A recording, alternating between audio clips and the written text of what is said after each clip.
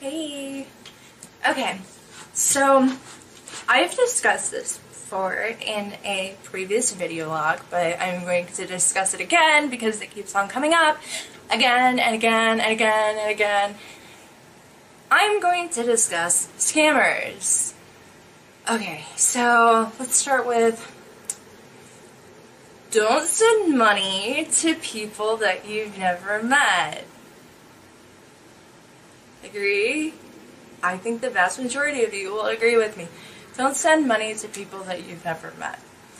If you haven't done, if you haven't seen them on Skype, you haven't, well, okay, preferably I would say if you're going to send money to somebody, the very least, have met them online through and done like a video Skype session together. For whatever reason, I want to sit there and say, oh, my camera is not working or I don't have a camera, uh, then yeah, I'd probably not send money to them if they want to sit there and say, oh, I can't talk to you on the phone because my phone's broken probably wouldn't send money to them because they're probably a scammer. They're going to tell you things like this. Like, oh, I need money to help my family out. I need money to help me get out of this war-ravaged town, blah, blah, blah. Uh, but I can't do a Skype chat with you or a Skype video chat with you or chat with you through Snapchat, which they do have video capabilities on there. You can do video chat on there. Um, I can't call you because my cell phone's broken, or all these various excuses that they give scammers will give people to not actually have like verbal or visual communication with them. Yeah, that's like a sign that they're a scammer, that they're trying to steal money from you. Um, another really helpful thing would be to take the photos that you see and run them through, I think it's called TinEye, um, or even Google Images if you look up uh, reverse image search, you can plug in that photo that they've sent you and it'll show you if that photo has been used um, with another scam or if it's a porn girl like me. Uh, you just have to do your research and people don't realize that and they get so caught up like infatuated with these with these assholes that are scamming them.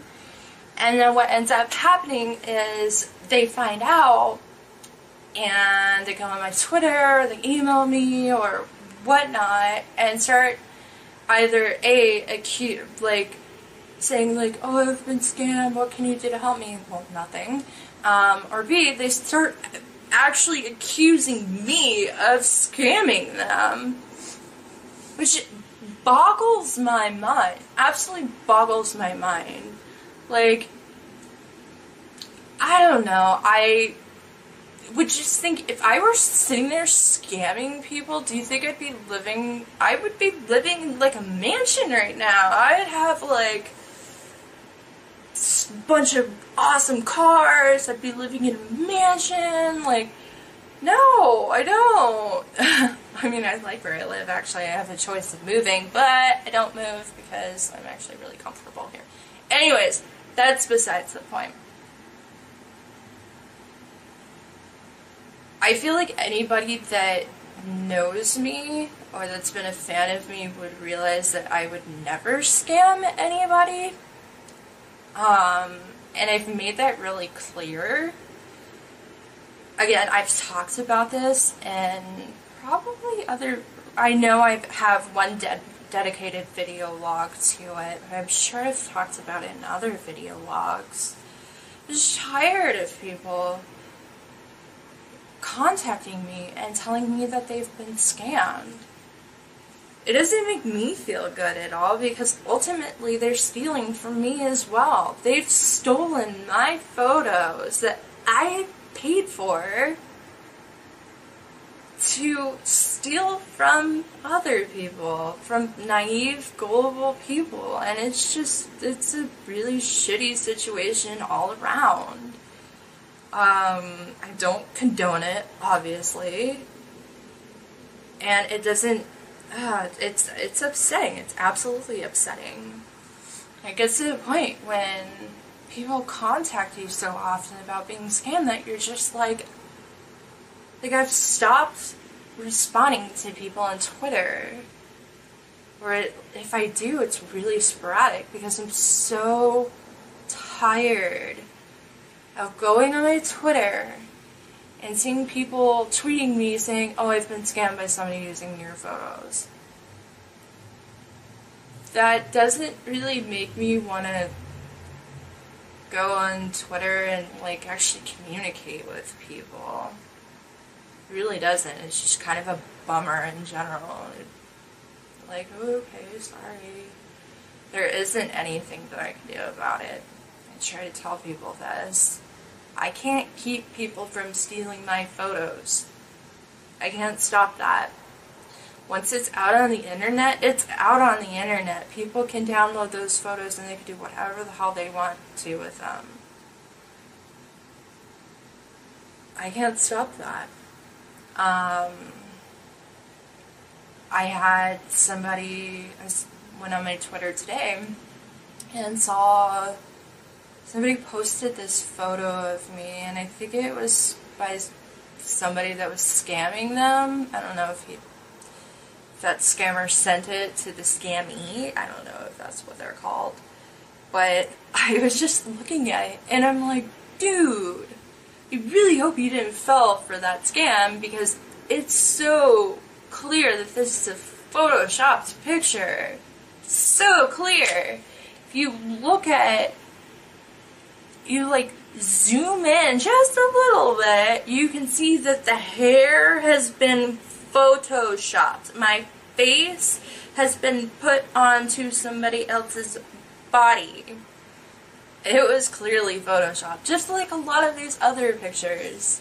The, the signs that are held out saying in really bad English that this is really me. Yeah, no, if you look at that photo and you just take like a minute or two to really think about it, nobody has writing that is that perfect.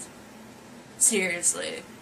The writing that I've seen, I'm like, wow, you can see, you can so clearly tell that that was Photoshop. Somebody used the the text button and said, this is really me. And it's in like Comic Sans or whatever freaking cutesy ass text. Uh, I can't even think of what it's called right now. It, it's it's just I don't know. It's mind boggling to me. It really is. Like it's and maybe it's because I've uh, been exposed to it so much because of people contacting me that I can tell when it's a scam. Maybe people are just so lonely that they're like easy prey for it, but I don't I don't know. I hope people would I just wish it would stop. I really do. I just I just wish that it would stop. And yeah. So to summarize, don't feed the scammers. if you haven't met them, you haven't done a video chat with them, haven't actually seen them in person, don't send people money that you don't know. And there's nothing that I can do about my photos being stolen. Absolutely nothing. So, sorry that it happens to some of you. Um, I wish it would stop. And yeah, that's that. So, anywho, I'm gonna keep going after my tirade about scamping. okay. Bye.